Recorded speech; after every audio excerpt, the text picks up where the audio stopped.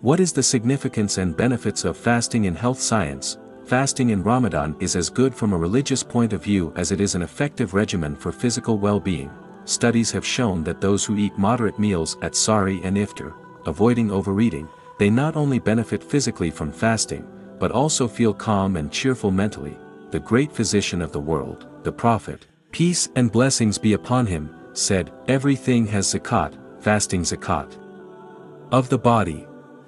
Therefore, we should fast, if a few simple formulas are followed in fasting, it is possible to reap all the benefits and benefits of fasting, as we know, every organ and vein in the body needs food to function. But if this food is not regular and moderate, it causes disease instead of providing energy to the body. From a health science point of view, untimely, uneven eating can have a negative effect on the digestive process.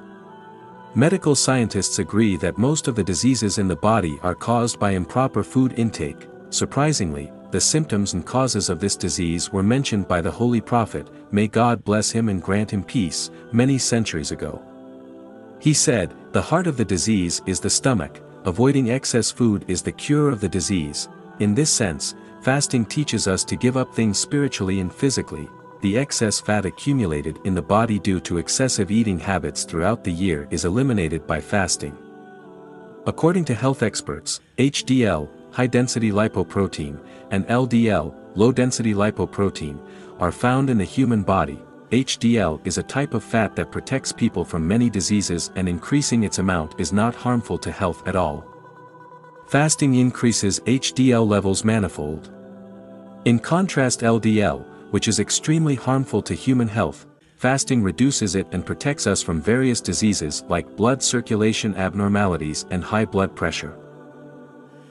Fasting also reduces the risk of uric acid and blood urea. Which, if present in excess in the body, causes diseases like stroke, heart disease, kidney disease and diabetes. The fact is that fasting is not just a name for fasting all day and taking food and drink at fixed times.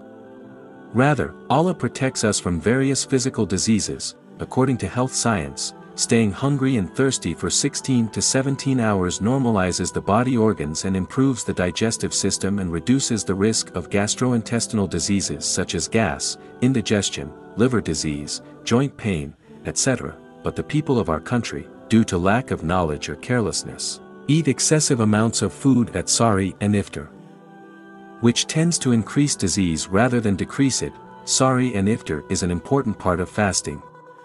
If we observe it according to the Sunnah, it is not only good for the body but also causes great benefits and rewards, just as it is Sunnah to eat Sahri on time, it is also Sunnah to break iftar on time.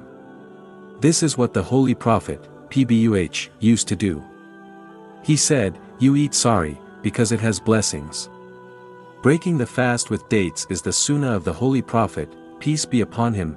Dot, according to modern research, dates contain vitamins A, B, C and D as well as calcium, steel, phosphorus and many other useful minerals that not only strengthen the heart, brain, liver, stomach and nerves, but also supply a lot of energy to the body.